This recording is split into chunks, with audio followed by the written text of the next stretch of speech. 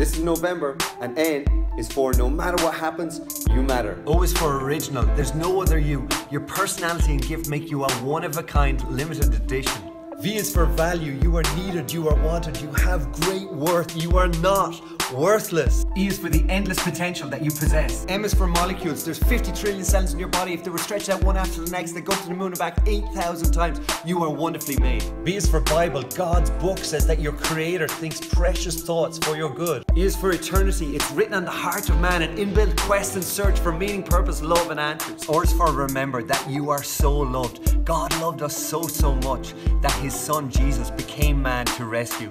This is November, and no matter what happens, you matter.